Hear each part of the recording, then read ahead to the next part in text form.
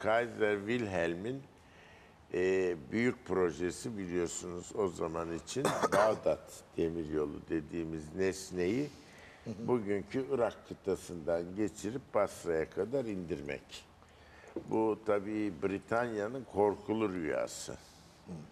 Yani bunlar Hindistan'a mı sarkacak diye Süveyş kanalı ve Mısır hayali çıktığı için Almanların aklından artık ve orada aktif olarak bazı işleri de müdahale ettiler Kuveyt krizine falan. Fakat Almanlar mı İngilizler? Almanlar. Fakat ben orada bir şey dikkatimi çekti. O kanaati edindim. Ben Britanya arşivlerinde e, İngiliz konsolosluk raporlarını okudum. Yani Basra'ya, Bağdat'a giden.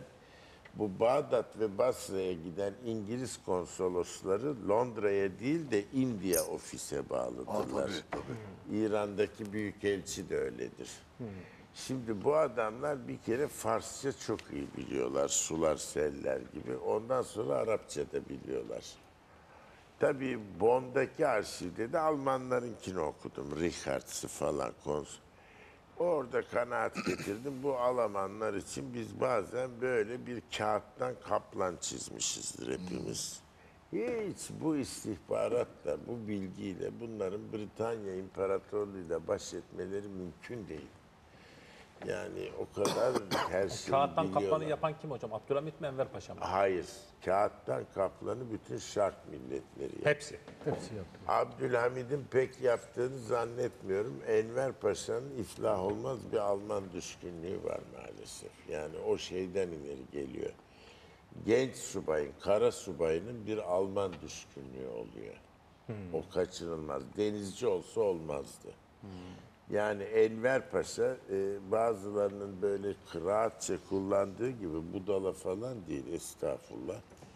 Ve o çocuk mesela bir manastır, manastır diyorum orada okumadı o. Bir Türkiye'deki İstanbul'daki İdadi'de okudu.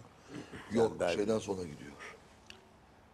Ee, İptidai İstanbul'a sonra Manastır'a gider. O da manastıra Manastır, gidiyor. manastır. Tabii manastır Manastır idadisi ve işte Harbiye falan böyle okuyup da Kara ordusu çünkü Osmanlı'nın da ağırlığı o merkezi ordular gibi hepsi gitmese e, şey olacaktı. Yani e, ben eminim ki çok iyi denizci olurdu ve o iyi denizcilikle de pek Alman hayranı olmazdı. Aksine İngiliz'e meyledebilirdi. Ya o Wasmus diye bir adam var. Evet, Bu Alman Lawrence'ı. evet.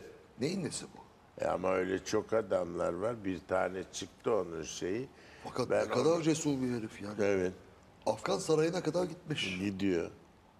Kullanıyor Almanlığa olan hayranlığı. Bütün Britanya'dan yaka silken insanlar Alman dostu Evet. olmaya hazırlar. Bu çok yaygındır. Bütün Rusya Alman dostudur. Bütün Rusya Alman dostudur. Yani o açıktır. Bizde de böyle bir alternatif çıktı ortaya.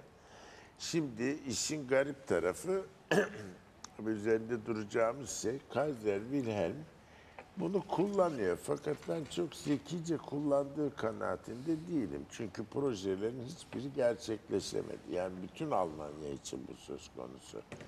Ve hazin neticeler çıktı. Demiryolunu döşüyorlar. Orada Alman teknolojisinin üstünlüğü var. Fakat demiryolunun işletme dili Fransızca. yani bu, bu kolay iş değil. Çünkü Osmanlı İmparatorluğu'nun efikasite bakımından, işlerlik bakımından, ehliyet bakımından en iyi demiryol sistemi Fransızların elinde. Yani istasyonların kuruluşu bilhassa bu Suriye, Mezopotamya ve şey Mezopotamya diyorum Suriye, Filistin bölgesinde onun için Fransa tabii o konularda demir yolculukta bugün bile Avrupa'da üstün bir memlekettir. E, ona dikkat edilmesi lazım. Bankacılıkta Almanya çok büyük harikalar yarattı. Yani atıl sahaları harekete getirdi. 16 Haziran dün yani ne oldu?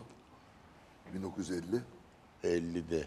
Ezan Ezan tekrar Arapça olarak Arapça okunmaya başlandı. okunmaya başlandı tekrar. Arapça okunması cezai müstelzim olmaktan çıktı. Bak, İsteyen Türkçe hukuki boyutu okusun. o. Şu anda da Türkçe okunabilir. İstersen İsterse oku. okuyabilir tabii. Yani pek ilginç bulmuyorlar. Ama 32 değil mi? Ne? Türkçe okunmaya başlaması. 34. 34 mü? 34 değil midir? 32 galiba 32 ya. miydi, 34? 32. 18 sene oluyor. Kanunu verenin de tabii Temmuz, CHP 18, 32, olduğu 32 evet. Temmuz 32. Plağı çalacağım şimdi de ben onu plak 34'tür. Zaten Şimdi Saadettin, sevgili seyirciler, Saadettin Kaynak e, şey çalacağım şimdi. çok mem- memnun olmuş. Su- Sultanahmet'teki e, 14 tane mi şerefeye ayrı müezzin çıkararak cumhur ezanı okutmuş. Kim? Su- e, Saadettin Kaynak. Yani Şey bir şeyi unutma. Türkçe ezan planı okuyan da kaynaktır. Evet doğru. Bugün şey yapmışlar zaten. 5 vakitten fazla. yani Devamlı okunmuş. he- devamlı okumuşlar. Şeyler bekletilirmiş. Ee, öğleye değil ikindiye. İkindi vaktine yakın kurbanlar bekletilmiş. Ezan başlayınca çok kurban kesilmiştir. Şimdi efendim 16 yani dün 52 sene 62 sene oluyor. Değil mi? 62 sene oluyor. 62 evet. Ezanın İlber Hoca'nın dediği şekilde neydi hukuki dili?